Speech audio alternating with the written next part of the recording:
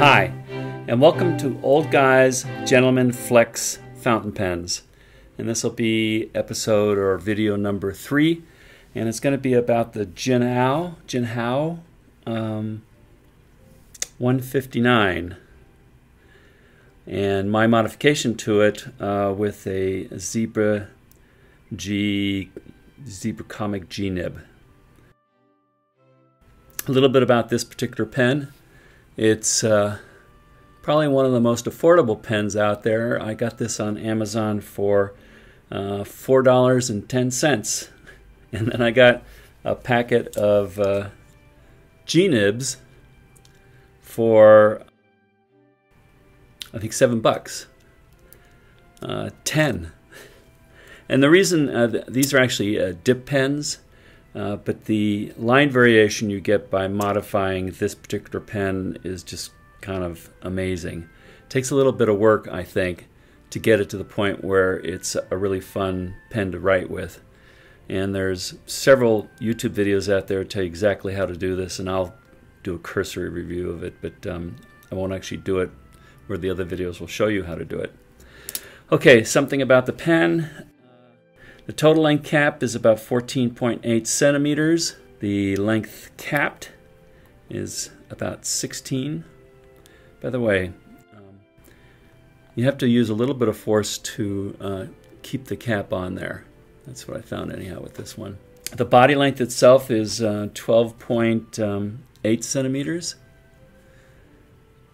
The thickness, this is uh, my thickest pen. The diameter varies at the thinnest or the smallest diameter to the largest about 12 to 13.5 millimeters and the max uh, diameter here is about 15.9. Um, at first I, I felt this was obscenely too big. I kind of like it. I don't know if I want all my pens to be like it, but um, it's kind of fun to switch up the diameter. I definitely know I don't like the really thin pens. Like, for instance, this is a Waterman 12. And I really like this pen. It's an eyedropper pen. I think it's one of the older pens that I have, and it writes really well. But my fingers start to, I don't know, get tired holding something that thin. So the thickness didn't really bother me too much on this. Well, let me tell you about uh, how I change it out. You you make sure that the pen is clean. This is inked right now. And you uh, pull the nib out, uh, usually by holding the sides. And you can look on YouTube, but you know I have a little rubber matting thing I use, or really hard cases I'll soak it if it has dried ink in it.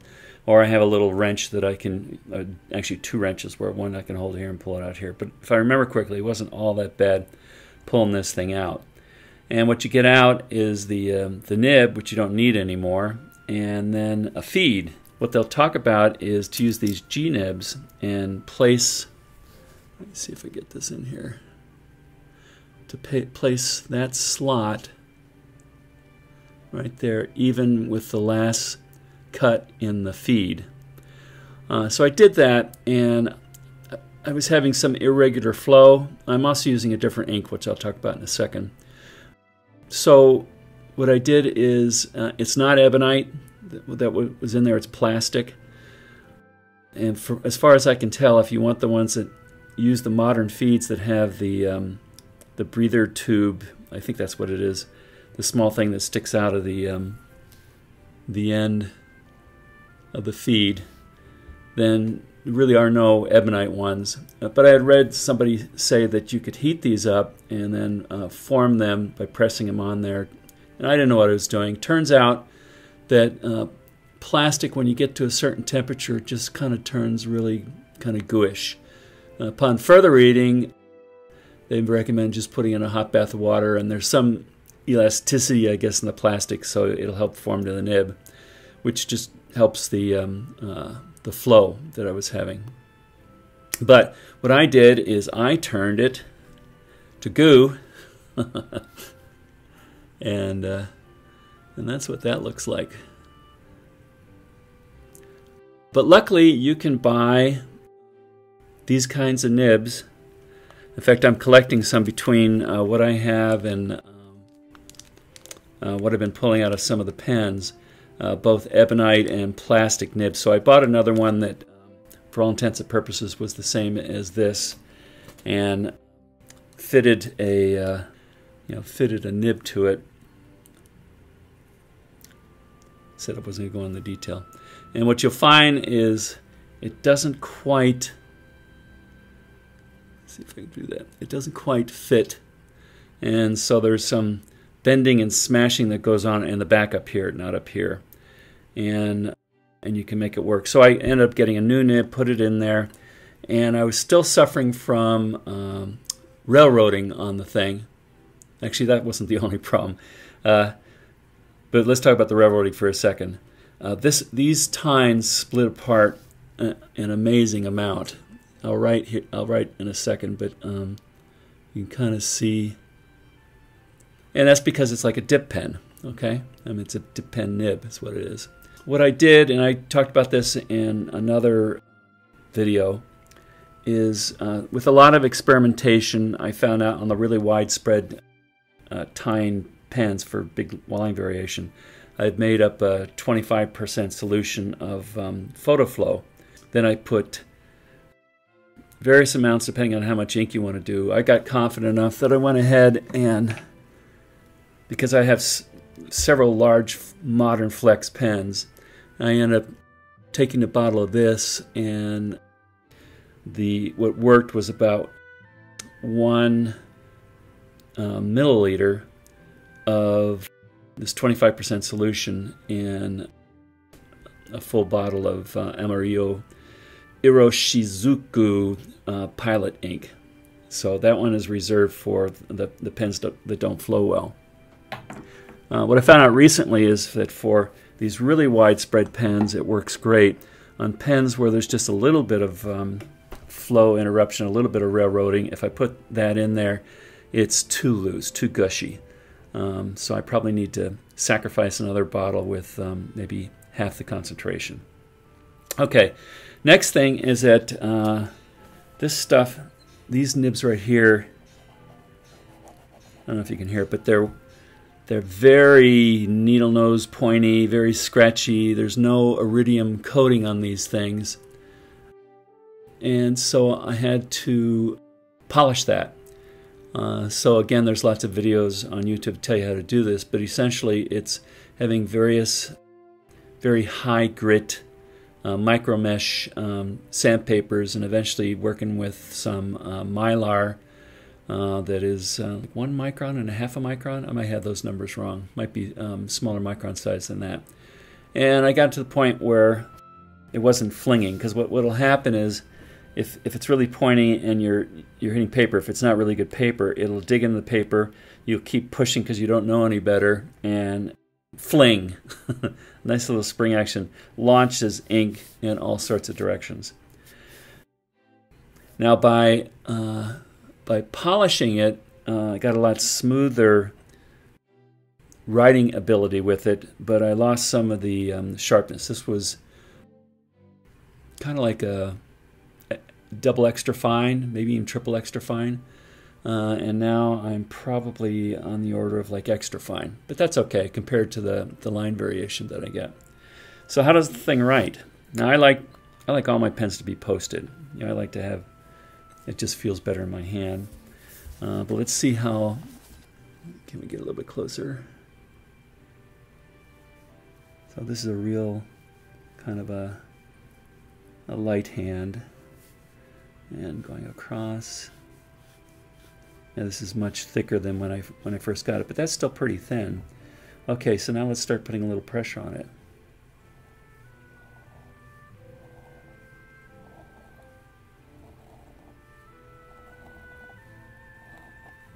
I got a little bit of railroading there. Uh, but you got to expect that at some point, uh, and it recovers pretty quickly, if I remember. So, uh, how about doing a little hello?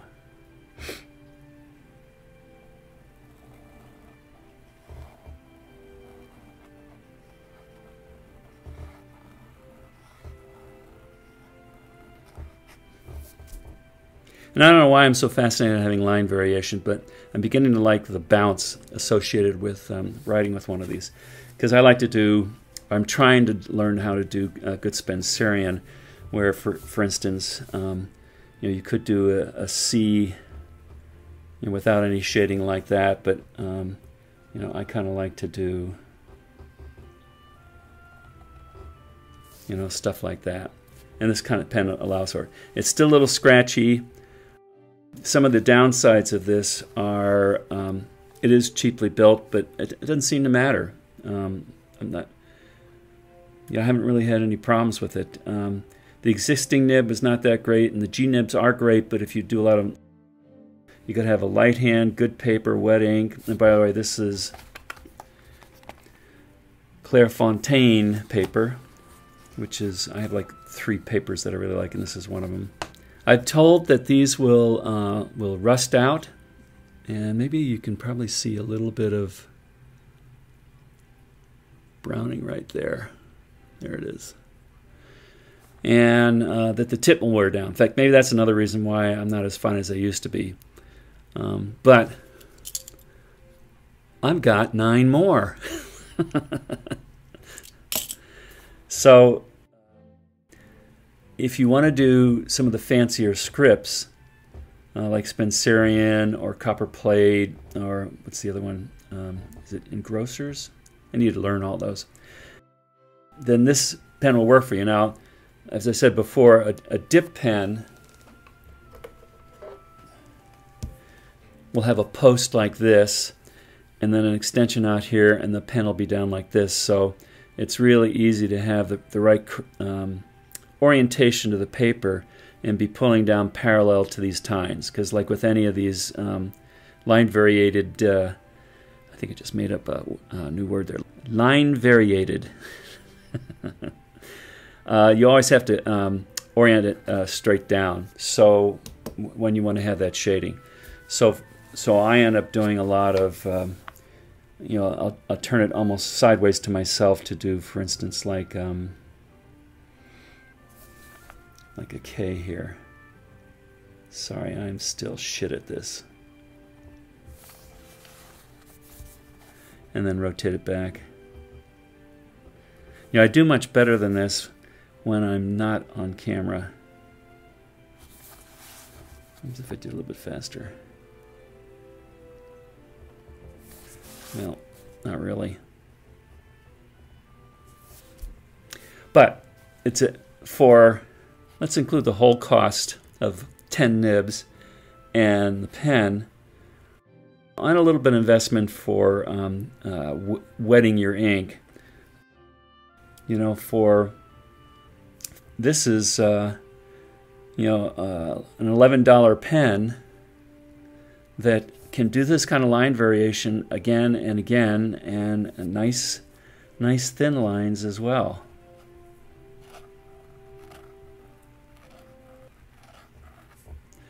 So uh, I think overall it's pretty good if you're if you're going in for line good line variation. So I got, hope you got some value out of that. Uh, feel free to ask any questions. I am kind of a newbie with this, uh, but I'm I'm climbing up the uh, the learning scale uh, as quickly as I can. And um, I guess that's it until the next time. Thank you.